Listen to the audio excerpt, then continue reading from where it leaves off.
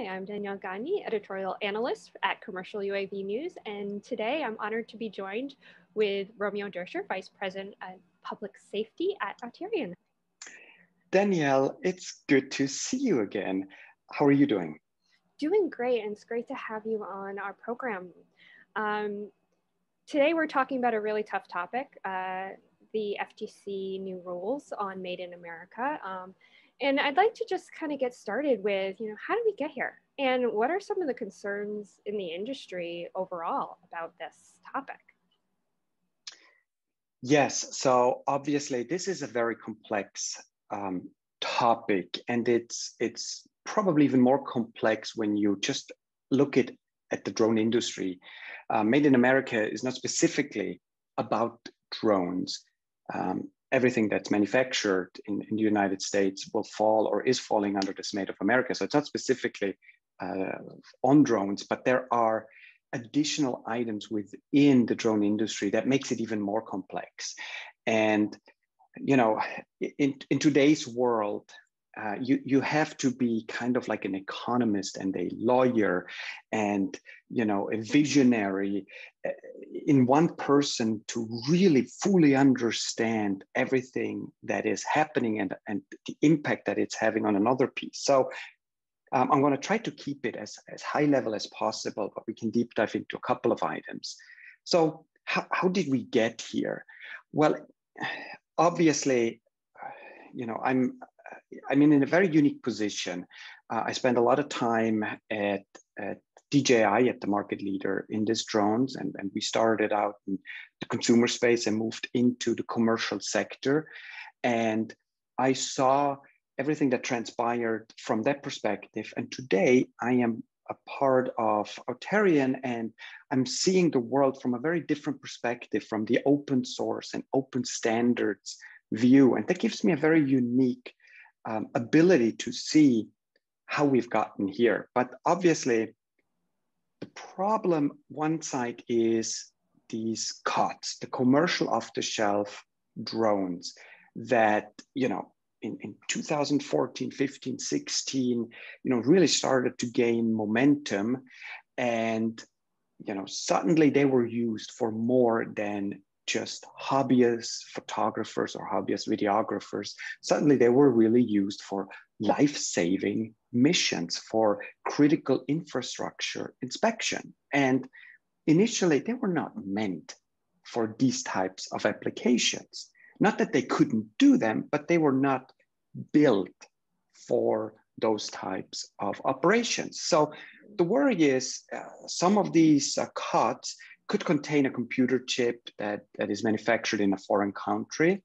And you don't know if there is potentially a backdoor on that chip that allows access for, let's say, an intelligence agency or some other nefarious person to get access to that device or to the data on the, the device. So that's one problem that came about. And then the second piece was yes, DJI is a Chinese company, and there is a, a China cybersecurity law um, of, of 2017, which requires Chinese companies to store data within China so it can be accessed at will by Chinese authorities. So you have these two components. You have kind of like a, a hardware concern potentially that can lead to potentially somebody gaining access and you have a data concern um, where your data could potentially go to some entity that you don't want this data to go. So this, these are the two main concerns that kind of started all of this, you know, going back to 2017 when the US Army um, released a memo uh, pretty much outlining that uh, the US Army does a blanket ban on, on these DJI Chinese drones. And from there, we started to see uh, multiple, you know, kind of milestones. Um, I believe in, in May 2019, the US Department of Homeland Security issued an advisory warning um, to US companies against the use of, of these China-made drones. Um, just a month later, in June 2019, there was this push for Made in America. um, which is a, which was a memorandum uh, to the Secretary of Defense that that actually then President Trump signed, citing the Defense Production Act of 1950. And the memo found that um, the domestic production capability for small unmanned aerial systems is essential for the national defense. So that's where we started to see that push for, for made in America. And then a few other things happened later that year in 2019. The, the NDAA 2020, uh, section 848, prohibition on operation of or procurement of foreign made unmanned um, aircraft systems came out. And so there were all these little things that almost every month something more happened. Uh, uh, the next year, in March 2020, the American Security Drone Act of 2020 um, came into uh, play. Uh, then, of course, some of the um, drone manufacturers in 2020 started to um, advertise made in America platforms, some more successfully than others. Um, then in, towards the end of 2020, we had the NDAA 2021, uh, where we again had a section 8414 that prohibits operation or procurement of Chinese unmanned aircraft system by the Department of Defense. So just came like in waves. And what happened in the drone industry was that the entire market in essence smelled blood in the water. You know, it was it was like this this market leading entity um, is now you know kind of bleeding, and we everybody felt like there is an opportunity to swoop in and get some of that market share. And so these these claims of um, made in USA, uh, made in America, um, you know, were quickly used to to gain attention of buyers, of especially government entities, but also um, other entities that are not really bound by any of these, you know, NDAA compliant um, suggestions in essence, uh, you know, like commercial entities. But some of these entities, they look very closely what is happening on a government level. And especially when they're working with, you know, critical infrastructure, um, they want to make sure that they go by, you know, whatever the government does and suggests as, as safe. And so here we are, the FTC uh, stepped in and clarified the rule and also put in a mechanism to to kind of go after these entities that make these claims when in reality they don't meet the criteria to make the made in USA or made in America claim. There's a lot you unpacked there. Um, just the amount of the amount of legislation that's come through in the past couple of years is has really I, I like the way you described it as a wave um, and and it, it really is important to note that this really wasn't, you know, aimed at the drone industry. This is so it's it's whatever rules that come out, they're they're going to impact all technologies. In fact, you know, um, Senator Sherrod Brown from he's a Democrat from Ohio. He provided some examples recently um, in an opinion piece about this this you know, ruling. And he says, you know, um, he brings up some examples. Uh, there's a company that that makes hockey pucks and wraps their products in American in American flag, and then promotes them as the only American-made hockey puck. Um, he talks about uh, a Silicon Valley mattress firm startup that markets the mattress as designed and assembled in the USA, and um, another couple companies in California that he pointed out that that market their gear to veterans and service members and put American made tags on the product. But all of these, in all of these cases, they were actually manufactured entirely outside of the United States. And so he brought up these three examples, specifically pointing out to um, items that have come up that are really outside of the drone industry. And I think we've seen that now, yes, it is impacting us in the drone industry, and most of us are welcoming this because it we believe it brings transparency into all of this.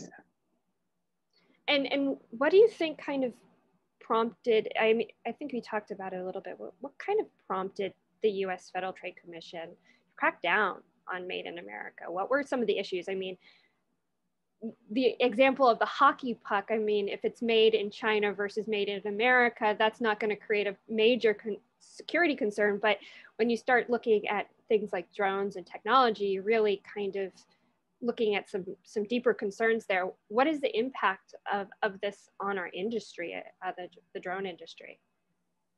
Yeah, so yeah, I, you know, it, it, I have not found any evidence that um, it was specifically looked at because of what was transpiring in the drone industry. And, and, and reality is, compared to all the other industries, uh, the drone industry is still very a young and still fairly small. So we were not the, the, the, problem child in, I, in all of this. But yes, um, we have seen products that, that uh, were advertised as made in the USA. And if it's a hockey puck, you know, um, I, I, wouldn't be as concerned. Yes, um, there, there is kind of like a little bit of fraud behind it because you're purchasing something because you right. believe this this is made here in the heartland of where I live and therefore I want to buy it. But then when we talk about technology, there could be a whole other set of concerns that come with it. Um, and so for us in the drone industry, I think it's it's it's a really good step forward. It brings that needed transparency and that that needed, you know, honesty back in. And it kind of, you know, Danielle, it kind of reminds me going back to, to I believe it was 2000, August 2016 at at the inner, InterDrone keynote, I, I made a point to the industry to stop just using unvalidated um, information for, for the purpose of marketing. You know, at the time, um, companies were, were claiming, you know, our drone saves money, our drone saves lives, our drone saves time. And while in theory, yes, that is probably all very true. In 2016, we didn't know as much as today. I, I wanted them to change their thinking, validate your claims, because we are at a point in 2016, we were at a point where you can't just say a drone saves a life because that is a big claim to make. And then when it doesn't happen, then it looks bad, not just on that manufacturer, it looks bad on the entire drone industry. Absolutely. And now in, in, in 2020 and 2021, we're kind of back at it again that we're making a lot of claims that are not always validated, like the one that, that has gotten us into this position here. So I think uh, this is a very, very good step. And it, it all it, it just opens up transparency to the end users. It really does. And well said. And, and it goes beyond this made in America claim. It's really about validating um, your claims. And so what does this really mean for technology companies already using that made in the USA label? Um, how are they going to navigate these new rules? So the definition hasn't really changed that much. Um, the FTC has in essence outlined three different points. So it, it says, okay, final assembly or processing of the product occurs in the United States. Number two, all significant processing that goes into the product occurs in the United States. And three, all or virtually all ingredients or components of the product are made and sourced in the United States. So these are the three you know, definitions that each product has to meet in order to be called made in America. Now, if, if I have a, a, product where you know 50% of all of my components are from you know Canada and Mexico, and then I just put it together. And up until now, I've been saying, hey, this is made in America. Well, now it doesn't really fit into right. this into this definition. So obviously, uh, the company now has, or I have to make a decision if, if I was this manufacturer, and I have to say either I continue with the claim, but now I run into potentially civil penalties that are pretty significant, or I just remove the label and be honest about what, what my product is and where my product you know, has come from. Now, there is a little bit of a kind of like a gray zone, and that is that the definition of all or virtually all ingredients or components. And that's, you know, that's that law language. And of course, um, if you go into Uh, the FTC uh, definition, you find some additional points that kind of explain what all or virtually all means, but it never gives you an exact definition. And that's, in my opinion, the piece that makes it a little bit more, more challenging. So if I have 100 components to make a product and 99 of those components were made and sourced in the United States, and there's one little tiny other component comes from Switzerland, what is it now? Is it, is it virtually all or is it all? I mean, 99% is pretty close yeah. to all or virtually all, but there is no proper definition of that. So that's to me a little bit of a challenge. And in the drone industry, that means, you know, many parts that we use in drones, uh, cameras, uh, gimbals, motors, uh, the airframe, the plastic, and even batteries are manufactured outside of the United States. We, yes, we do have the capabilities to make those here, but for, for most components that I just listed, they are made somewhere else. And that now means if a company really wants to be labeled made in USA, then they have to source those items locally. And that may be challenging um, because you know there may not be a, a you know motor manufacturer in the Uni United States that has the capabilities to, to do 100,000 motors a month or a week. So, and even if, if this company has the capability to produce 100,000 motors for the whole drone market, um, will the price be as competitive as it is now buying it from you know abroad? So some some interesting challenges that are coming with all of this, but at the end, it's still a good process to go through because it gives the choice and transparency back to the end user and they know what they're purchasing. And that's a really important distinction, but it also brings up a lot of challenges for the manufacturer, as you pointed out. Um, where you get these components and whether or not it's even made in the US, whether the cost is going to be competitive, what that's going to do to your customer base. We can make this in America, but the price is going to go up X amount of dollars. Um, and, you know, all that impacts the end user as well. It, and America might not be the best manufacturer for a certain part. It might, the best might be made in another country. And how do you navigate that? How do you make those choices as a manufacturer trying to give the best product to your customer. There's a lot to consider um, as, as we start looking at that made in America label. Um, so what does all this mean for end users? I think we're kind of hit a little bit on that, especially, um, especially for those who are impacted by government policies around country of origin. It, does it have to be made in America to be able to work with a government agency or is made in America just a nice to have? That's a very good question, uh, Danielle. And and you know, in, in the drone industry, we, we have this additional term that is the NDAA compliant. And the NDA, NDAA is the, the National Defense Authorization Act, which is an annual bill that allows Congress to set guidelines for government policy um, that has often commercial implications. And currently, this NDAA restricts the US government, any US government departments from procuring um, those covered UAS. Um, so, in essence, vehicles that are manufactured in whole or by or in part by a covered foreign entity. And so we have NDAA compliant and we have made in America. And then we have a third term, and that is the blue sUAS line. And now let's let's take a look at that blue sUAS line because that kind of puts things into a little bit of a different line.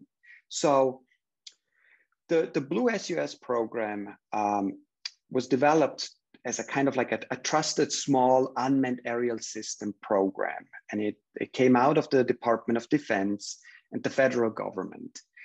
And what they did is they set a, a, a few parameters um, and said, okay, um, here are you know certain specifications that a drone has to meet, and we want to see which drones can meet those uh, specifications.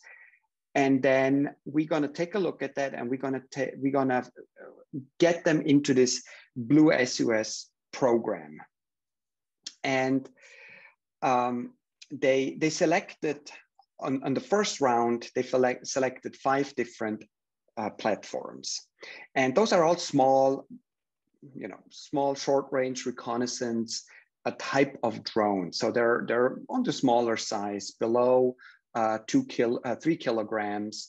Um, they, they need to fly 30 minutes plus, um, need to be assembled very quickly in, in two minutes or less, um, have both have a very good payload capability, meaning uh, at least a high resolution day, uh, daylight camera as well as uh, um, uh, stabilized optics and, and nighttime capabilities.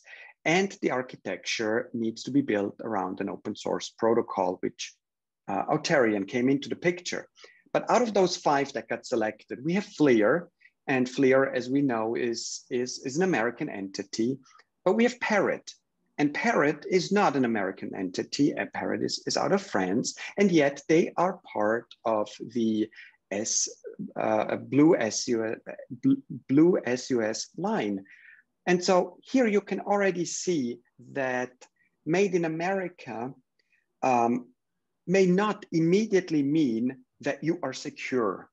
And made not in America also may not mean that you cannot purchase it. So here's where the complexity starts to come in. So um, to digest this a little bit more, the way I look at it is made in America outlines what it has to be in order to qualify for Made in America.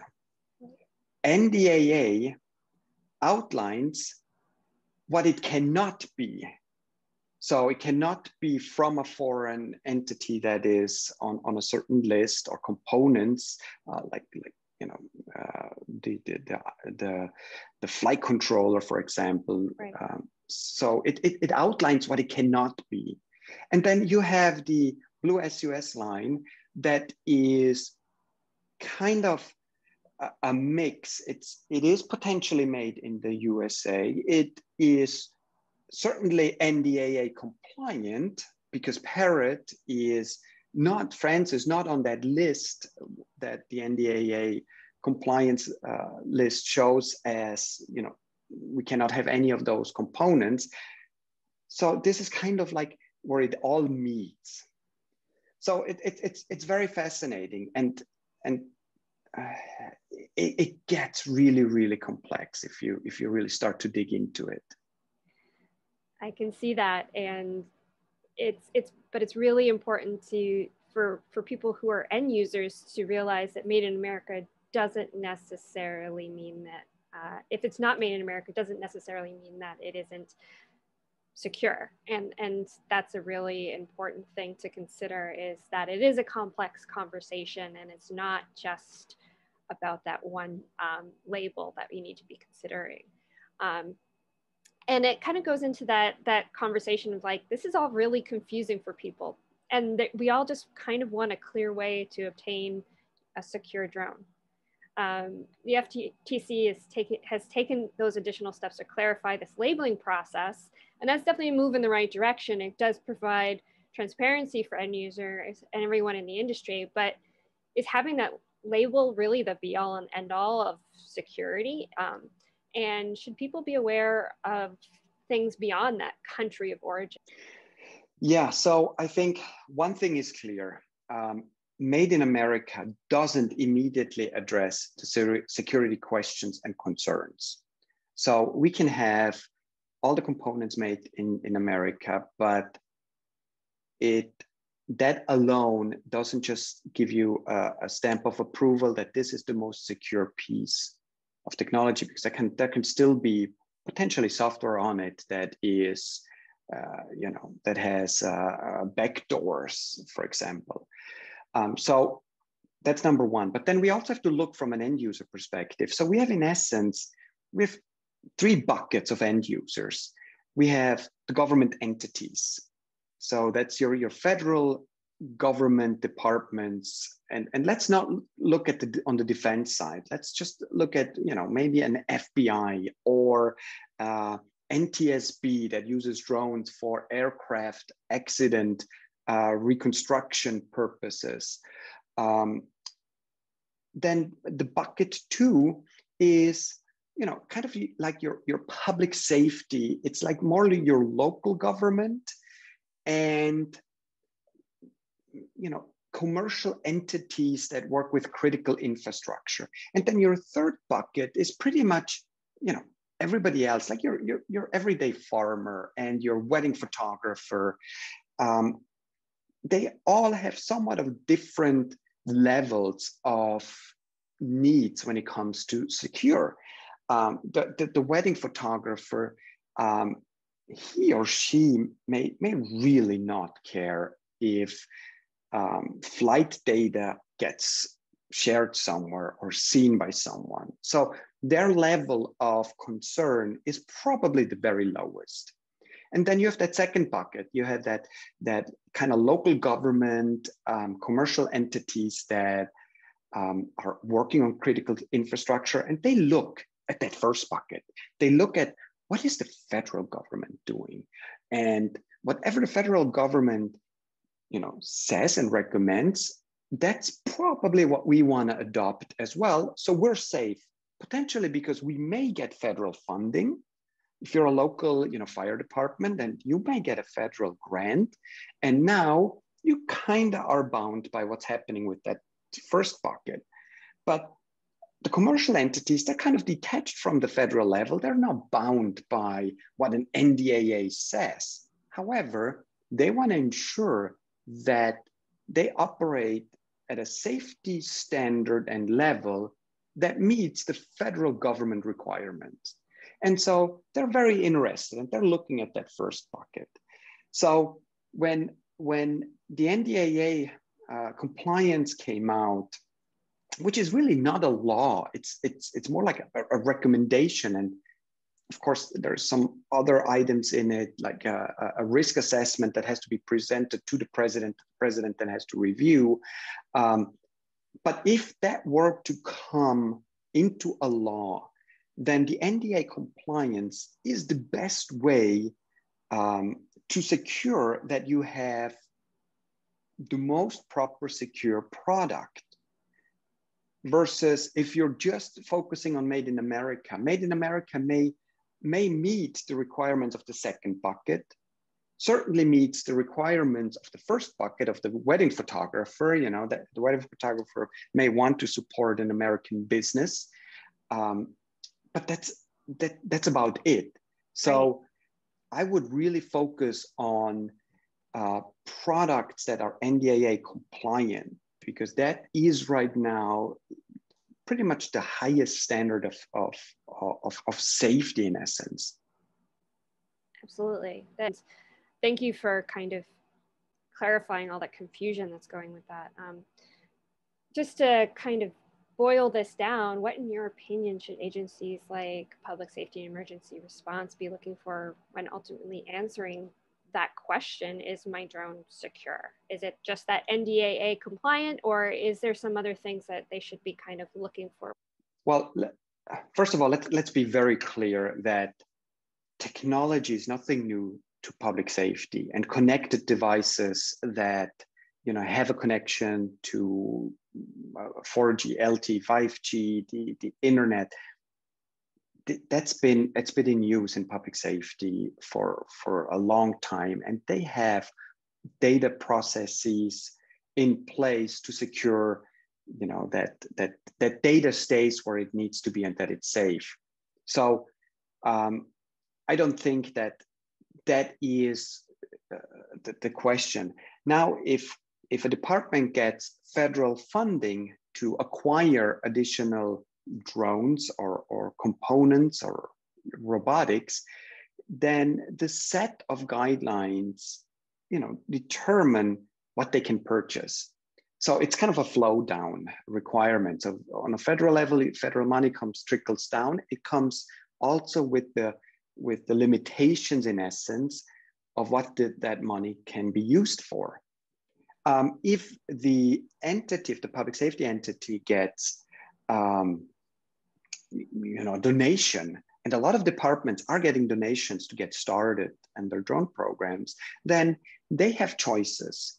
They can utilize this money in, in what works best for their needs, yet still meets the criteria they already have established as a department on data security and and all the processes. But that doesn't mean that they then have to go and and buy um, the same way as they would if it was federal money. So they have a little bit more flexibility. But at the end of the at, at the end of the day, um, they should look for NDAA compliant products because then they they know for sure that whatever they're getting is meeting the highest standard or bar or expectation.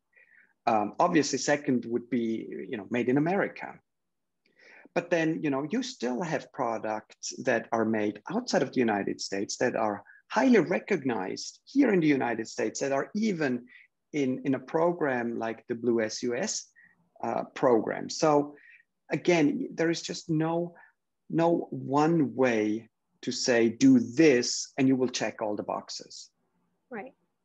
So we to think that country of origin and all these security questions are an, an American concern, but this isn't really just the case. Many countries are really trying to sort this out and have secure technology and how to figure out how to do that in a global marketplace where we're making components everywhere. And sometimes the best component isn't ideally where you'd like it to be.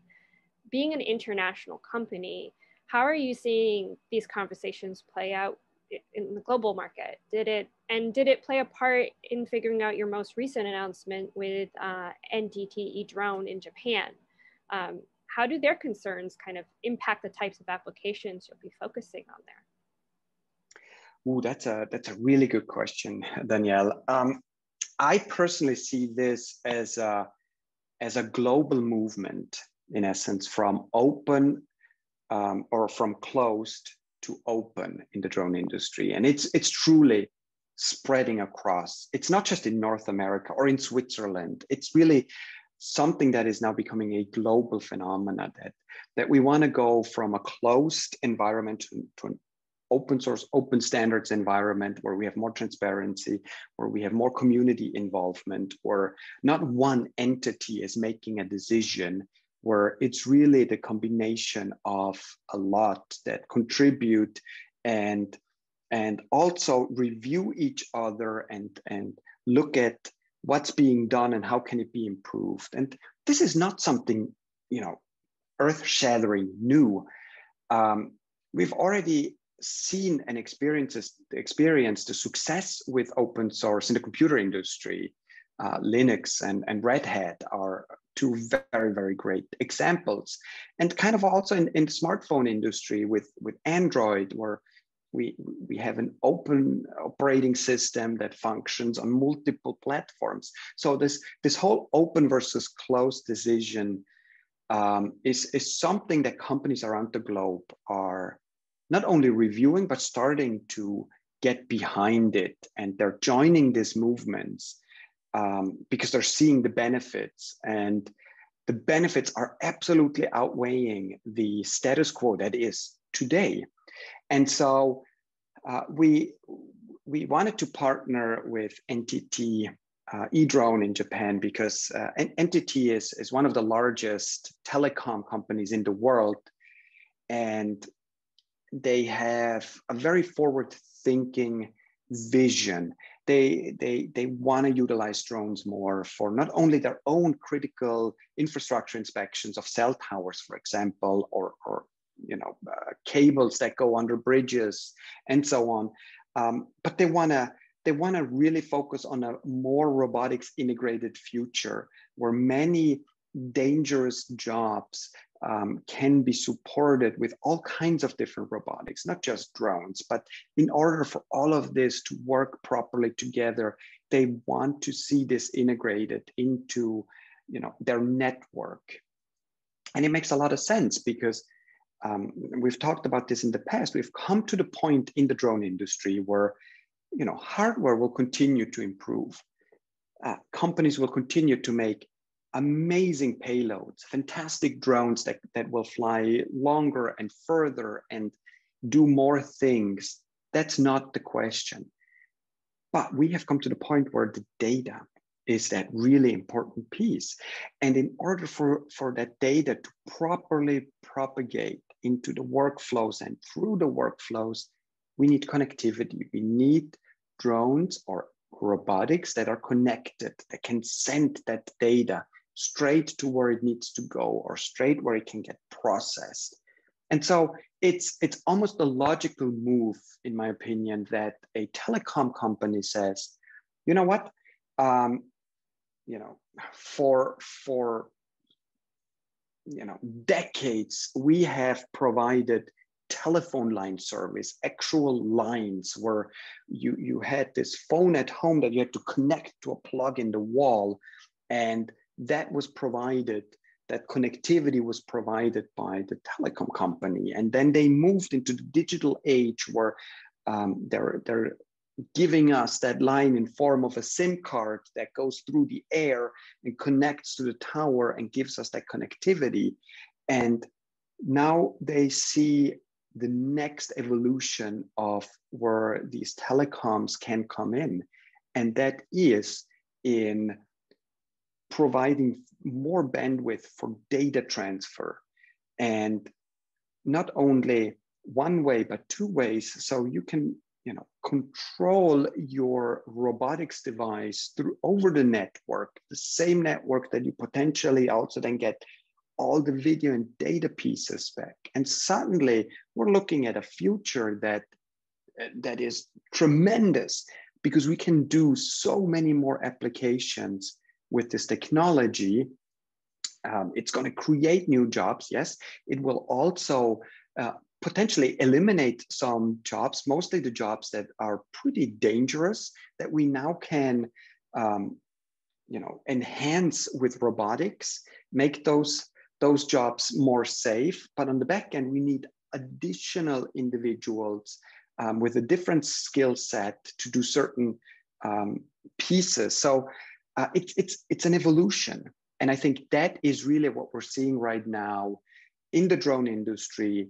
That we have we have started to move away from this one operator, one drone concept. Don't get me wrong, this will continue to be a way to deploy drones for, for a long time. And in many cases, um, it makes a lot of sense. You know, I'm going to go back to the wedding photographer. Um, she is bringing her drone to the wedding and flying it from there. She's not going to sit at her home um, launching that drone, you know, 100 miles away just to get those those uh, aerial photographies of, of the couple. Maybe that's going to happen in the future, but that's very unlikely. We're talking about that, that you know, next generation, uh, that power line inspection, that cell phone line inspection, where you know we, we can do miles and miles and miles of inspection from afar um, because we have the connectivity, we have the framework, we have the legal requirements, and that is thinking ahead.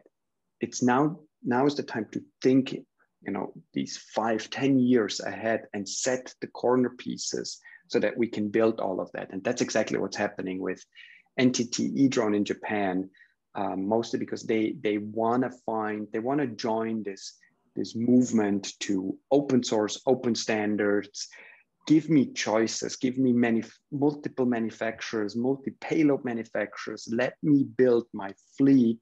Let me have one user interface and let me have connected pieces. And that's amazing. And, and you, you start to see how that becomes an internet of things, of, of interconnected devices that can communicate with each other and, and do a job and take away some of those dangerous positions that really put people at risk. And, um, you know, and that really kind of ties into, I'd imagine, uh, all these questions about, you know, where is that piece made? Is it is it secure? All of those things have to go into that kind of decision making so that you know that everything that's working in this connected environment is not going to be hacked as well. It, would you agree? Absolutely. I mean, we're we're we're becoming so much more connected, and more and more devices are joining this network. And yes, uh, security and safety is is imperative in in this process for us to continue to be successful. And you know, if we look at the internet at, the, at an early stage when it was developed to what it is today, a tremendous change, not only in everything that can be done, but also in levels of security that have been built in that constantly are getting, you know, breached by groups that find the weak spots to, to get access to information, hold information hostage or entire systems hostage. Clearly, um, there is always going to be a small percentage of individuals that are trying to find the weak points to do something that you know doesn't help the greater community but gets them some advantages. And we will con- we, will, we just have to work on this as a community. And that's again that's why i'm going back to this this open source thinking because we cannot have one entity say this is how it needs to be done. This will not work in the long run. This has to be a collection um, of, of voices of the community that, that sets those standards, that, that checks each other, because otherwise we're going, we're getting ourselves into potentially very dangerous territory if we have single entities that dictate how things need to be done it's true. Um, the, and the more minds that are, are tackling this this issue, it, the more you're going to be able to see those vulnerabilities and also anticipate any changes in in how people are exploiting um, these types of, of systems. Um, finally, uh, my last question for you today is kind of hard one. Um, how do we ultimately strike that balance that we're that we're talking about. You know, you have the global markets, everything's being made internationally. There, but we also have to deal with the political boundaries that that are setting laws and regulations about who and where we can get our products from. And, and this drive for technological innovation, ide- um, ideas, new technologies that are propping up internationally. And, and can we get where we want to go by just sticking to these country borders, or is this going to have to be a bigger negotiation and to move forward?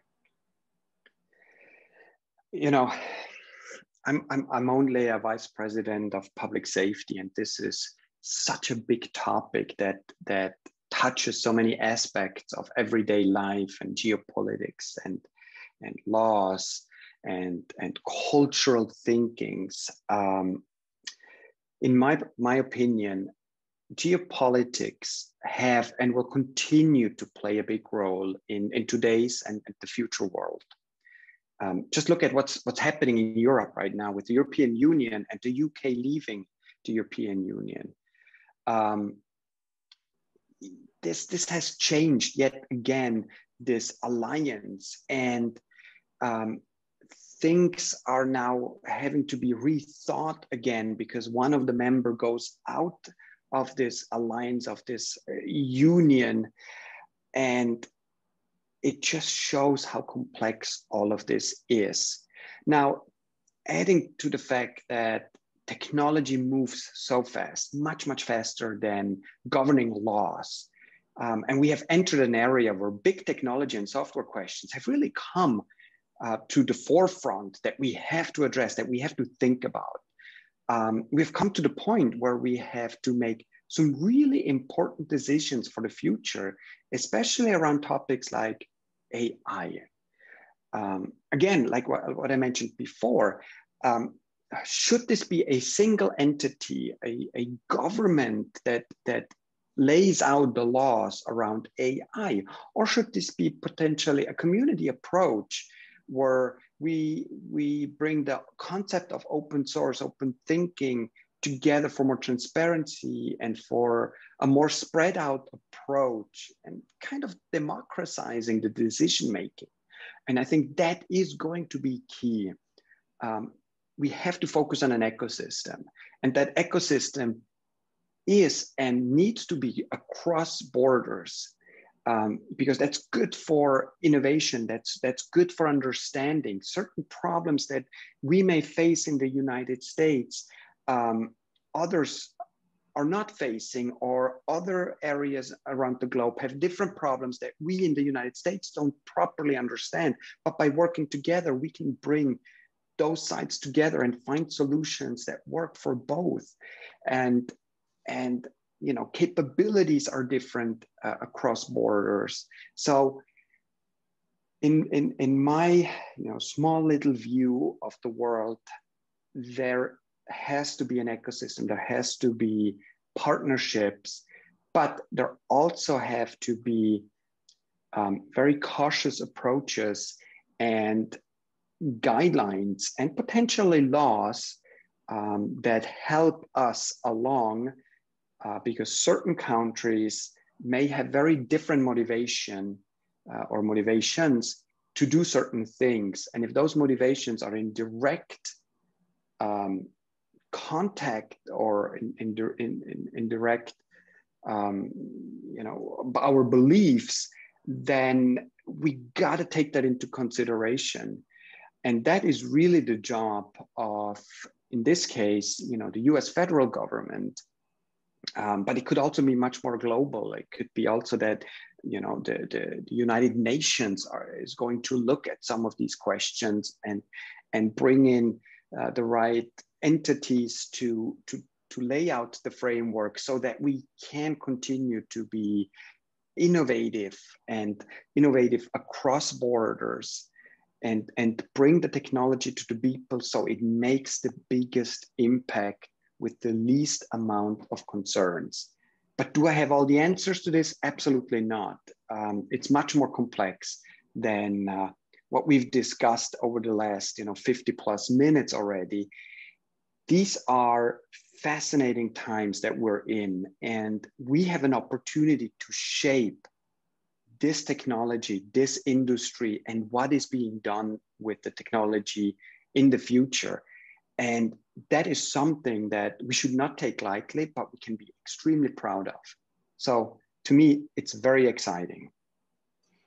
For me as well. Um, we're really in, in the nascent stages of, of determining all of the, this, these amazing things that are going to go and, and impact the future of this industry and and technology uh, in the future. And all I can imagine is that we can't foresee where technology will take us. And so whatever we do today just needs to have that openness and, and that flexibility and adaptability to, to not get us mired in, in any of this kind of, um, if, if the rules no longer work two years from now, we're gonna have to keep on reinventing everything. So whatever we whatever we're thinking about today, it needs to have that democratization as you, as you mentioned and have the voices of as many people as possible to be adaptable to wherever the technology has to take us. Thank you, um, Romeo, for, for joining me today and for such an informative conversation. This has been wonderful.